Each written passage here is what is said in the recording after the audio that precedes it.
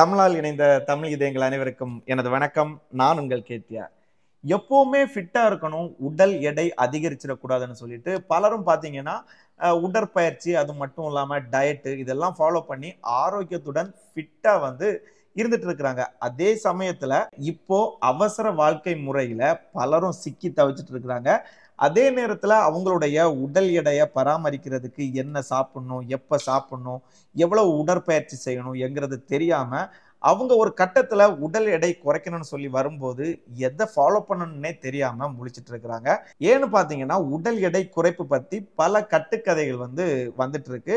So அதுல ஒரு சில கட்டுக்கதைகளும் அதனுடைய உண்மைத்தன்மையையும் நம்ம இந்த வீடியோல பார்க்க போறோம். ஸோ நீங்க உடல் எடை குறைக்கிறதுக்காக ட்ரை பண்ணிட்டு இருக்கிறவங்களா இருந்தாலும் சரி இல்ல இனிமேல் ட்ரை பண்ண போறவங்களா இருந்தாலும் சரி அவங்களுக்கு இந்த ஒரு சில கட்டுக்கதைகளும் இதனுடைய உண்மைத்தன்மையும் கண்டிப்பாக உதவியாக இருக்கும்னு நான் நினைக்கிறேன். ஸோ நம்ம வீடியோக்குள்ளாடி போயிடலாம். அதுக்கு முன்னாடி இதுவரை நீங்கள் நம்மளுடைய சேனலை சப்ஸ்கிரைப் பண்ணலனா சப்ஸ்கிரைப் பண்ணிக்கோங்க. பக்கத்தில் இருக்கக்கூடிய பெல் ஐக்கானையும் கிளிக் பண்ணிக்கோங்க. வாங்க வீடியோக்குள்ளாடி போகலாம் ஸோ முதல் கட்டுக்கதை என்னங்கிறத பார்ப்போம். வியர்வை அதிகமாக வெளியேறினால் அதிக கொழுப்பு எரிக்கப்படுகிறது என்று அர்த்தம். உண்மை என்னன்னு கேட்டீங்கன்னா அதிகமா வேர்வை வர்றது வந்து கலோரிகள் எரிக்கப்படுவதை மட்டும் குறிக்காது. நம்ம உடற்பயிற்சி செய்யும் போதோ இல்ல வந்து நம்ம உடல் சம்பந்தமா ஏதாவது வேலை செய்யும் போதோ சரி நம்ம ஒரு வெயிட் தூக்குறதா இருக்கட்டும் இல்ல துணி துவைக்கிறதா இருக்கட்டும் இல்ல ஏதோ மூட்டை தூக்குறதா இருக்கட்டும் ஏதோ ஒண்ணு நம்ம உடல் சார்ந்து ஒரு வேலை செய்யும் போதும் வேர்வை வெளியில வரும். அதாவது சூரிய கதிர்வீச்சுகள் அதிக அளவுல வெளிப்படும் போது வேர்வை வந்து நம்மளுடைய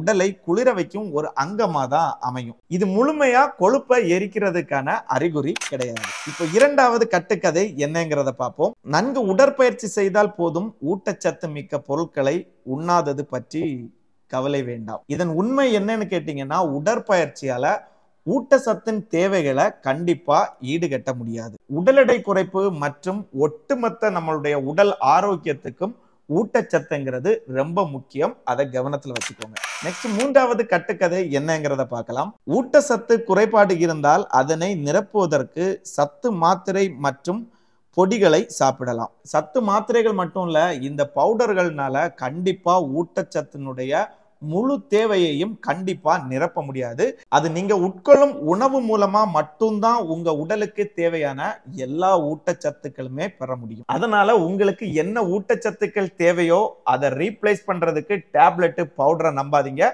அதுக்கு ஏற்றது மாதிரியான உணவுகளை எடுத்துக்கோங்க. இப்போ நான்காவது கட்டுக்கதை என்னங்கிறத பார்ப்போம். உடற்பயிற்சி செய்யும் போது வலியை அனுபவிப்பது தவறில்லை. வலி இல்லாமல் பலன் கிடைக்காது. இதன் உண்மை என்னங்கிறது பார்க்கலாம். உடற்பயிற்சி செய்யும் போது நம்ம வலியை தாங்கிறதுனால நம்ம உடலுக்கு எந்த ஒரு நன்மையும் கிடைக்காது. உடற்பயிற்சி செய்யும் போது ஏற்படக்கூடிய அசௌகரியத்துக்கும் வலிக்கும் ரொம்ப வித்தியாசம் உண்டு.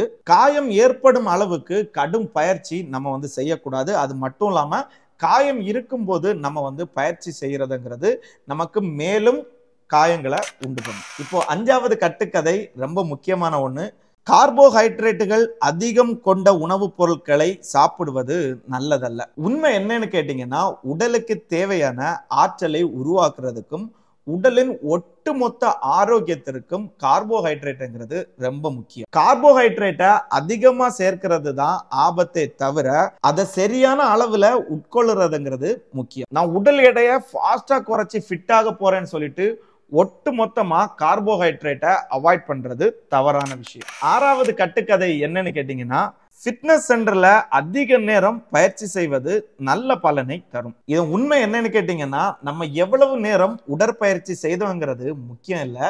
நம்ம என்ன உடற்பயிற்சி செய்தோங்கிறது தான் முக்கியம். நிறைய பேர் ஃபிட்னஸ் சென்டருக்கெல்லாம் போயிட்டு தாறுமாறாக வந்து பயிற்சி செய்வாங்க. அதாவது அங்கே இருக்கக்கூடிய கோச்சை கூட கூப்பிட்டு சில ஃபிட்னஸ் டவுட்டை கேட்காம இவங்களுக்கு தெரிஞ்சது மாதிரியே போட்டு அடித்து தூள் கிளப்புறது அதுக்கப்புறம் வெயிட் குறையல அங்க டேமேஜ் ஆயிடுச்சு இங்க ஃப்ராக்சர் ஆயிட்டுன்னு சொல்லி அவங்க கிட்டே கம்ப்ளைண்ட் சொல்றது. அதான் சொல்ல வரேன் நம்ம வந்து எவ்வளவு நேரம் பயிற்சி பண்ணோங்கிறது கண்டிப்பா முக்கியம் இல்லை.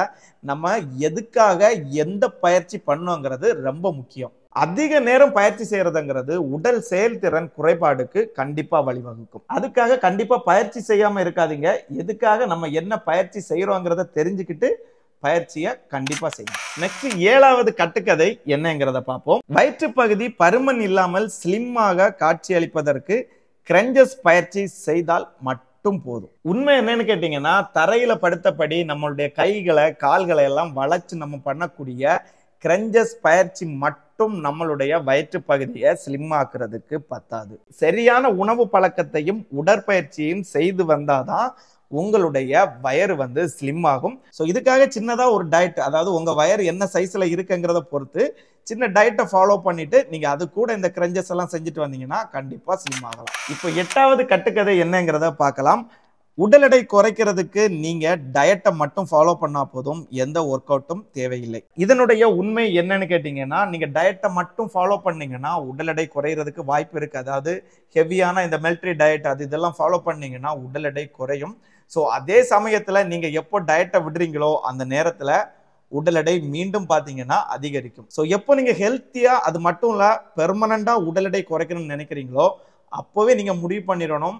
இந்த டயட்டு அது கூடவே பார்த்தீங்கன்னா உடற்பயிற்சியும் சேர்த்து செஞ்சாதான் நமக்கு கண்டிப்பாக ஹண்ட்ரட் பர்சன்டேஜ் சக்சஸ்ஃபுல்லான ரிசல்ட் கிடைக்கும். இப்போ ஃபைனலாக ஒன்பதாவது கட்டுக்கதை என்னன்னு கேட்டிங்கன்னா தினமும் ஒரு வேளை மட்டும் சாப்பிட்டு மற்ற இரண்டு வேளை பட்டினி இருந்தால் உடல் எடை வேகமாக குறையும். இதன் உண்மை என்னன்னு கேட்டீங்கன்னா வேடிக்கையாக தான் இருக்கும். இந்த மாதிரி நீங்கள் பட்னி இருக்கிறது உடல் எடை வேகமாக குறையும். அது வந்து உடல் எடை குறையிறதுல உங்களுடைய ஹெல்த் வந்து குறையிறது போன் வெயிட்டு குறையும். அது மட்டும் இல்லாமல் பல நோய்களுக்கு நீங்களே வே போட்டு கொடுக்குறீங்க. அதுதான் அர்த்தம். அதனால் இந்த பட்டினி இருந்து உடல் எடை குறைக்கிறதுங்கிறது கண்டிப்பாக ஆபத்தில் தான் போய் முடியும். எக்காரணம் கொண்டும் உடல் எடையை ஹெல்த்தியாக குறைக்கணும்னு இருக்கிறவங்க இந்த ஒரு விஷயத்த செய்யாதீங்க. ஸோ உடல் எடை குறைக்கிறது பத்தியான ஒரு சில கட்டுக்கதைகளை நம்ம வந்து இங்கே பார்த்துட்டோம்.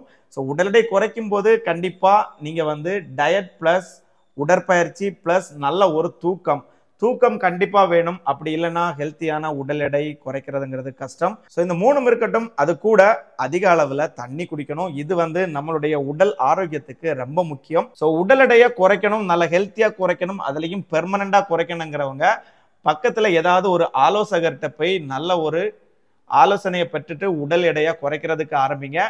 எங்கேயாவது போர்டெல்லாம் வச்சிருப்பாங்க. உடல் எடை குறைக்கப்படும் ஒரு வாரத்தில் குறைக்கப்படும் அப்படி இப்படியெல்லாம். ஸோ அங்கே போய் மாட்டிக்காதீங்க. ஃபிட்னஸ் சென்டரில் நல்ல கோச்சாக இருந்தால் அவங்கள்ட்ட போய் கேளுங்க.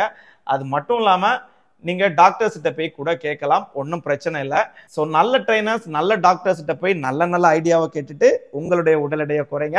ஸோ நம்மளுடைய சேனல்லையும் உடல் எடை குறைக்கிறது பத்தி எக்கச்சக்கமான வீடியோ இருக்கும். டயட்டை மட்டும் நீங்க ஃபாலோ பண்ணா போதும். அதுக்கப்புறம் அது டைட்டில் அந்த டைட்டில் பார்த்தா தான் உள்ளே வருவீங்க. ஸோ ஃபைனலாக எல்லா வீடியோலையுமே வந்து நம்ம சொல்லியிருப்போம். அது மட்டும் இல்லாம நம்ம வந்து டிஸ்கிரிப்ஷன்லையும் கீழே கொடுத்துருப்போம். அதாவது work out plus diet plus good sleep இதுதான் வந்து உடல் எடையை குறைக்கிறதுக்கு முக்கியமாக உங்களுக்கு உதவும்னு சொல்லிட்டு நம்ம மட்டும் இல்லை எல்லா ஃபிட்னஸ் ட்ரைனருமே வந்து போடக்கூடியதுதான். ஏதாவது ஒரு ஒர்க் அவுட்டை போட்டு இதை செஞ்சீங்கன்னா உடல் எடை குறையும்னு சொல்லி போட்டிருப்பாங்க. ஸோ அது எதுக்காக சொல்றாங்கன்னு பார்த்தீங்கன்னா அந்த ஒரு ஒர்க் அவுட்டையாவது எதுவுமே செய்யாம இருக்கிறவங்க செய்யட்டும்னு சொல்லி தான் இல்லை அந்த ஒர்க் அவுட்டை நீங்கள் செய்யக்கூடிய ஒர்க் அவுட் கூட சேர்த்துக்கிட்டீங்கன்னா நல்ல ஒரு பலன் கிடைக்கும் என்கிற ஒரு நோக்கத்தில் தான் எல்லாருமே போட்டிருப்பாங்க. ஸோ ஏதாவது ஒரே ஒரு ஒர்க் அவுட்டை மட்டும் பார்த்துட்டு அதை மட்டும் செஞ்சு உடல் எடையை குறைக்கணும்னு சொல்லி நினைக்காதீங்க. ஸோ இந்த வீடியோ உங்களுக்கு ஒரு பயனுள்ள வீடியோவாக இருக்கும்னு நான் நம்புறேன். இந்த வீடியோ உங்களுக்கு பிடிச்சிருந்தேன்னா லைக் பண்ணுங்க. மேக்ஸிமம் உங்கள் ஃப்ரெண்ட்ஸுக்கு ஷேர் பண்ணுங்கள் அப்படியே நம்மளுடைய சேனலை சப்ஸ்கிரைப் பண்ணிக்கோங்க. பக்கத்தில் இருக்கக்கூடிய பெல் ஐக்கானையும் கிளிக் பண்ணிக்கோங்க. மீண்டும் ஒரு வீடியோவில் உங்களை சந்திக்கிறேன். அதுவரை உங்களிடமிருந்து விடைபெறுவது உங்கள் கேட்டியா?